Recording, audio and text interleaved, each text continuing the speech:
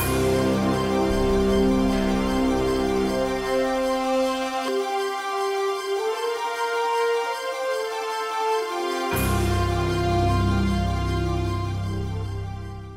В эфире программа «День города» в студии Оксана Тебенихина. Здравствуйте. Как всегда, наши авторы поделятся со зрителями самыми интересными и актуальными новостями. Смотрите сегодня. С наступлением первых октябрьских холодов на улице тепло пока пришло не во все дома. Ремонт теплосети в некоторых районах города продолжается до сих пор.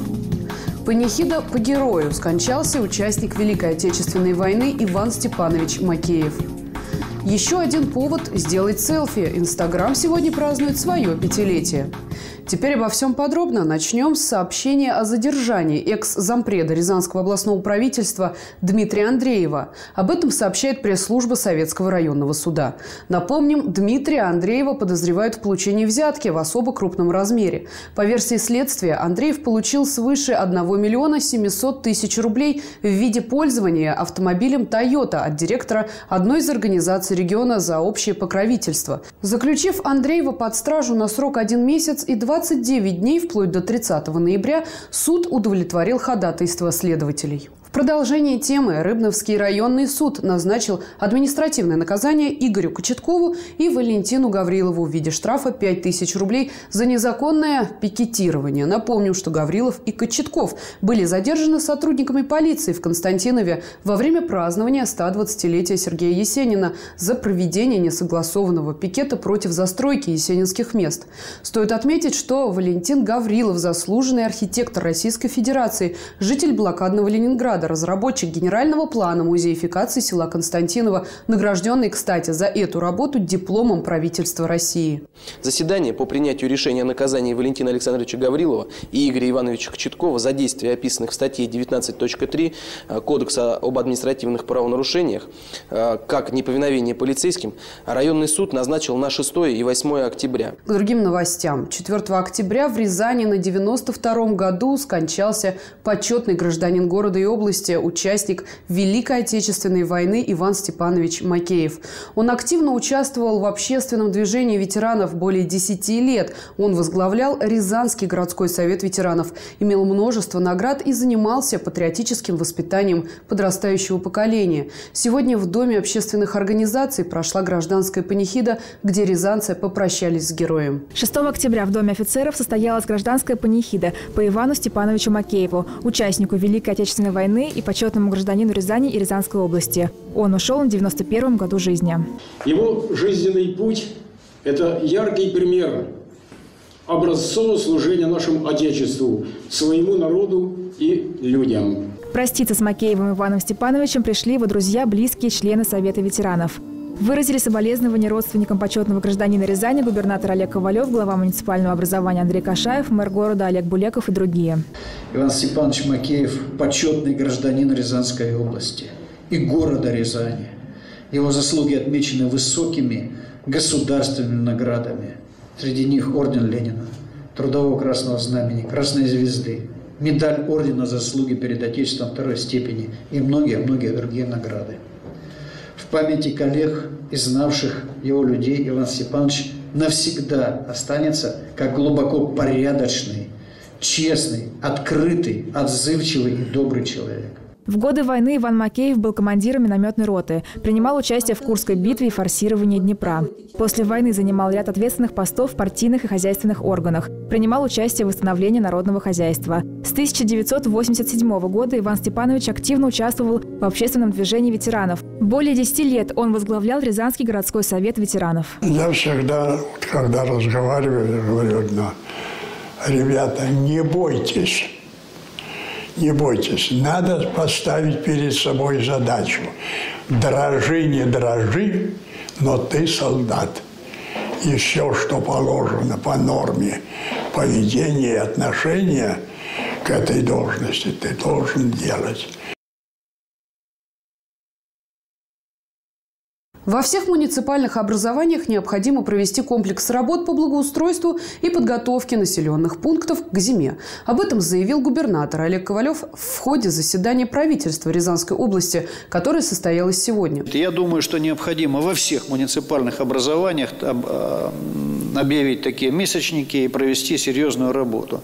Надо обратить внимание на, и на готовность зданий, объектов э, общественных э, к зиме, на готовность э, фасадов, готовность борьбы с сосульками там и так далее. То есть провести целый комплекс вот таких осенних работ с тем, чтобы войти в зиму и провести зимний период должным образом.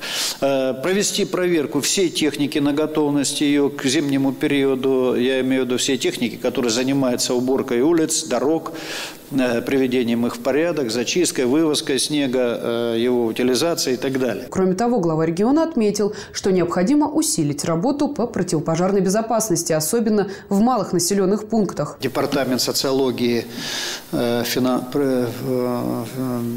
при финансовом управлении при правительстве Российской Федерации по результатам проведенного исследования признал город Рязань самым безопасным городом по итогам 2014 года исследовали 37 э, крупных городов с населением свыше 500 тысяч человек. Э, в СМИ уже эта информация прошла. Э, при этом речь идет о безопасности в широком смысле этого слова. Здесь учитывалась и удовлетворенность граждан системой здравоохранения, работой образовательных учреждений, сферы ЖКХ, благоустройства города, состоянием дорог. Значит, э, таким образом, ну, дана, будем говорить так, положительная оценка э, той работе, которую проводила муниципальная власть, э, правоохранительные органы, профильные ведомства, правительство Рязанской области. Э, значит, ну, приятно, конечно, я думаю, всем приятно, когда э, тебя отмечают в числе лидеров, но э, я бы, я бы э, очень сильно эйфорию не испытывал, э, потому что мы знаем, какие у нас еще существуют проблемы и в ЖКХ, и в благоустройстве города, и в оказании э, услуг э, здравоохранения, э, значит, особенно в первичном звене. Нам необходимо не ослаблять борьбу с правонарушениями различного рода, значит, нам необходимо усиливать роль фото-видеофиксации с тем, чтобы обеспечивать как э, безопасное движение по нашим автодорогам, так и э, обеспечивать э, быстрое раскрытие таких правонарушений и преступлений, которые могут происходить на улице. И поэтому давайте мы воспримем это как некий этап, такой позитивный этап и как некий аванс нам на будущее, поэтому давайте мы еще злее будем работать в этих направлениях, чтобы э, остаться в числе лидеров. Теперь к событиям общегородским. В понедельник вечером на улице Бутырки произошло возгорание двухэтажного здания «Котельной». Пострадавших нет, причины пожара и ущерб сейчас устанавливаются. Это, несомненно, вызывает логичный вопрос, а будут ли дома, подведенные к этой котельной, вовремя обеспечены теплом. Стоит отметить, что работы по ремонту теплосетей сейчас идут полным ходом, и окончатся они должны к 8 числу. Подготовка к отопительному сезону в Рязани практически завершена. Батареи интенсивно теплеют, начиная с первых чисел октября. Обычно первым делом по графику теплом снабжаются социально значимые объекты. Далее начинается протапливание жилых домов, после чего очередь доходит и до промышленных строений.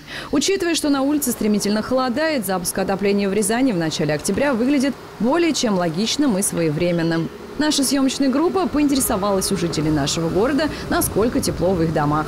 Вам отопление дом дали? Дали. Тепло, хорошо? Ну да. А давно? Ну, дней пять так назад. А в каком районе живете? Грош. Нет пока. А холодно дома? Нормально, нормально. Не мерзнете? Нет. А в каком районе живете? Нерастоево. Пока не дали, но я не мерзну, у меня тепло дома. Вот вам не холодно с мороженым? Нет, не холодно. А дома отопление дали? Дали. Давно? А, по-моему, вчера. А в каком районе Специально не отслеживал, не затемно. Вам отопление дома дали? Нет еще. А холодно дома? Нет. А как согреваетесь? Коньяком. А где живете, в каком районе? Площадь, площадь Мичурина. Судя по всему, и даже несмотря на то, что в некоторых районах города идет ремонт теплосетей, замерзнуть этой осенью нам все же не грозит. Ну а если вдруг отопление в вашем доме так и не включают, Греться какое-то время все же придется подручными средствами. А вот получить перерасчет и побороться за право жить в теплой квартире вполне реально и даже необходимо. Хоть это и не совсем просто. Если возникают какие-то вопросы, решать их по телефону бесполезно. Ругать кого-то, диспетчеров, там, не дай бог, нехорошими словами, не рус... русскими называть не советую.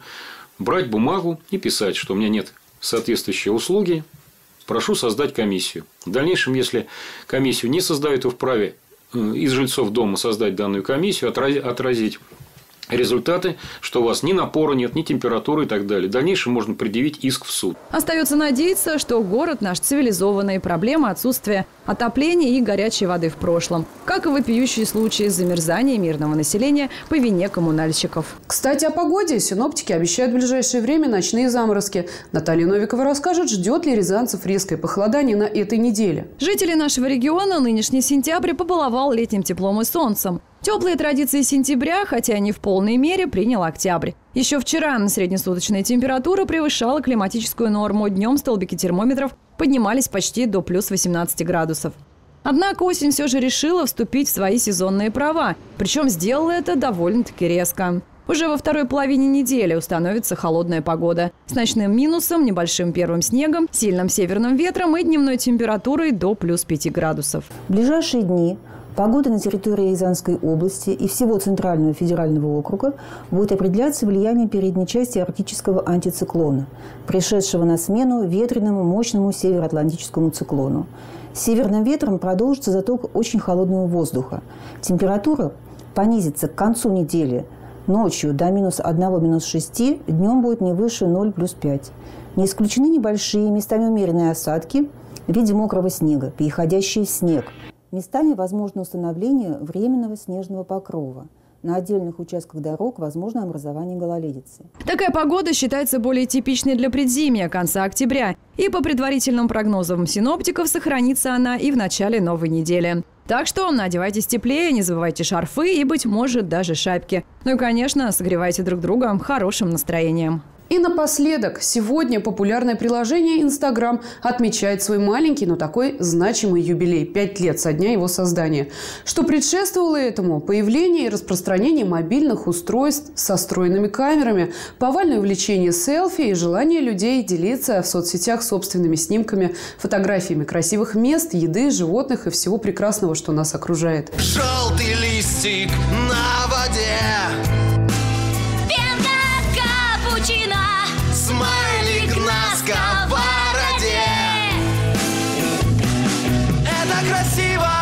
Губки бантиком, бровки домиком и айда фотографироваться везде, где только можно, чтобы показать всему миру свою пижамку, чашечку чая, котика или новый маникюр.